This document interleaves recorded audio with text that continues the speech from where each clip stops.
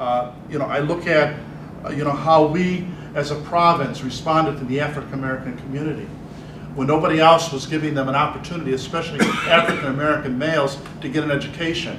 What did our friars do? They established a high school for them, uh, which began at Corpus Christi and then eventually became Hales. Uh, Tremendous uh, response to a need that was not being addressed within the Chicagoland uh, area. Uh, You know, I look at the call that we got, you know, from uh, San Antonio uh, to go back to San Antonio, to take over those missions, to begin to reach out to the Mexican American communities that were there, uh, and to bring that Franciscan presence back.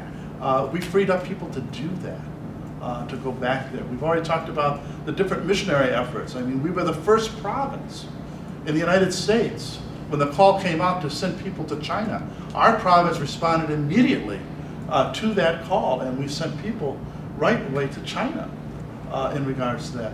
That is true with Brazil. Uh, that has been true uh, with, with Zaire, which is now the Democratic Republic of the Congo. Uh, that's been true with the Project of the Order uh, in relationship to that. A great legacy, that, that sense of itinerancy, that you know, if, if, we, if we're called to move on, we've moved on to meet a greater need, uh, whether within the Church in the United States or whether within the order uh, itself. Um, I admire our friars who went to Louisiana, northern Louisiana, at a time uh, when the, K, uh, the Ku Klux Klan was very strong. Our friars uh, literally preached on street corners trying to figure out who was Catholic and who wasn't Catholic. They had crosses burnt in front of the, residence in which they lived, uh, but established, you know, a Catholic presence, uh, reestablished it, uh, or created it for the first time maybe, within a whole Bible Belt, Bible Belt area.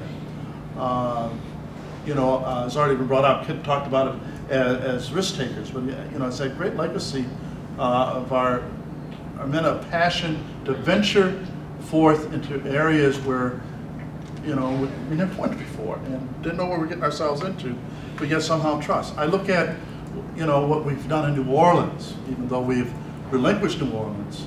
Uh, you know, our presence down there over the years uh, was reaching out to some very marginalized people. It was, uh, you know, the gay people, the, the, the ladies of the night. You know, uh, Gracia Nozzle was, was a, a, great minister to the ladies of the night and getting them reestablished in other professions and, and that. Our, our whole response to, uh, to uh, uh, victims of AIDS and establishing the Lazarus House. Um, uh, you know, when nobody else even wanted to touch that issue, uh, we were there. Uh, you know, it's a great legacy in regards to that.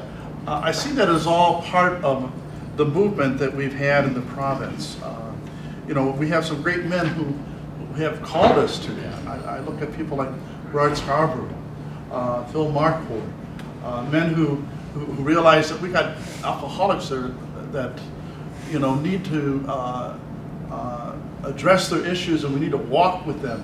We have people that are homeless. We have the mentally ill out there. We have people getting out of prison and have no place to go. We need halfway houses for them. Uh, and it was these men that, that, called us to that kind of outreach ministry that has created the outreach ministries that we have uh, today in the province. Um, so, I, know, I look at that history and I see a history of what I, I call that spirit of itinerancy, uh, of being on the move. Uh, and we've had great leadership to do that. How are we doing with time? Quarter to. Yes? I one more comment? I, I, one of the things that John said uh, flipped the switch in me. Um, not only did we embrace people outside, but we also embraced our brothers. I, you said the alcoholics, but I, I, you know, as a person who profited from lots and thousands and thousands of dollars worth of psychotherapy, um, we, from the very beginning of recognizing that we had brothers who were alcoholics who needed to be helped to, to get themselves in a different direction. And then those brothers came back and demanded honesty of us, that the embrace of those poor um, in our very midst have, has called us to health, to challenge ourselves, to growth, and to uh, do things I think we probably would not have been ready to do. And that's, you know, to, to say, to, to allow our provincials, our past provincials, and, and the people in, who were in charge in the province who had the vision to be able to say, we can't lose these brothers. And they were just as much on the edge and on the margins as a lot of other people that we. So It's very significant. I just want to take us to a second question, and then we really want to open this up to everyone for at least some minutes. Um, You know, the panelists are now going to- work with us together, I think, open this up as much as we can. And what do we really take with us in terms of visioning for the future for us as a province, and what really is, is something we're called to be and called to do at this point in time? What's really essential for, for, you know, who we are to become, or as the general said, we're good, we get better? Um, I personally think that a lot of what's been said about our province, we already have the ability to be part of what has been called this international era of, of religious life today. And the, the world at large has come to the doorstep of the province. And we haven't been a complete success in, in this, and we're still working with it, but I find it a source of extraordinary new life that we have brothers who have come from Latin America, from Asia, and Africa. This needs to continue just as much as we need to make the journey in that direction.